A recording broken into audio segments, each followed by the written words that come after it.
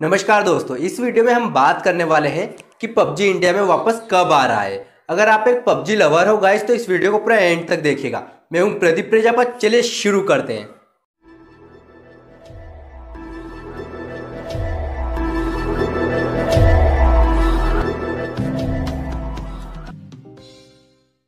दोस्तों, पबजी से रिलेटेड जितनी भी न्यूज़ वायरल हो रही थी, उसमें आधे से ज़्यादा फेक थी। इसलिए हमने पबजी कमबैक के ऊपर कोई वीडियो अभी तक नहीं बनाया। लेकिन अभी हाल ही में दोस्तों पबजी से रिलेटेड लेटेस्ट न्यूज़ निकल कर आई है। जैसा कि आप लोगों को पता चल ही गया होगा गाइस कि पबजी की एयरटेल कंपनी से डील फाइनल हो चुकी है और वो इतने एडवांस लेवल तक पहुँच चुकी है गाइस कि पबजी ने इंडिया में हायरिंग स्टार्ट भी कर दी थी।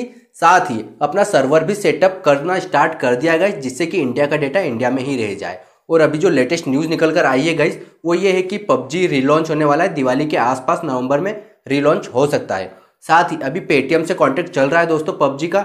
हो सकता है कि ये पेटीएम मिनी ऐप स्टोर पर भी लॉन्च हो जाए गाइस तो प्लीज़ इस बात का ध्यान ज़रूर रखिएगा गाइस कि जब पबजी रिलॉन्च हो जाए तो उसे अपने आप पर इतना हावी मत होने दीजिएगा, जैसा कि पिछली बार हुआ था गाइस कि पबजी अनबेन होने के कारण काफ़ी सारे लोग डिप्रेशन में हो गए थे और कई लोगों ने तो सुसाइड भी कर लिया था गाइस तो प्लीज़ अपने आप पर इतना हावी मत होने दीजिएगा। आई होप कि आप लोगों को ये न्यूज़ ज़रूर पसंद आई होगी गाइस और इस न्यूज़ को दोस्तों, ज़्यादा से ज़्यादा लोगों तक शेयर करिए और हमारे इस वीडियो को लाइक सब्सक्राइब ज़रूर कर दीजिए गाइस जिससे कि आप लोग हमारे चैनल को सब्सक्राइब कर लोगे तो जैसे ही कोई भी लेटेस्ट न्यूज़ आती है पबजी से रिलेटेड, या फिर पबजी लॉन्च होता है गाइस वैसे ही हम आपके लिए एक और वीडियो बनाएँगे। तो अगर आप लोग हमारा चैनल सब्सक्राइब करके रखोगे तो आप तक ये न्यूज़ जल्दी से जल्दी पहुँच पाएगी। आई होप कि आप लोगों को ये वीडियो ज़रूर पसंद आया होगा। और अगर वीडियो पसंद आए तो दोस्तों लाइक सब्सक्राइब एंड शेयर करे बगैर मत जाइएगा।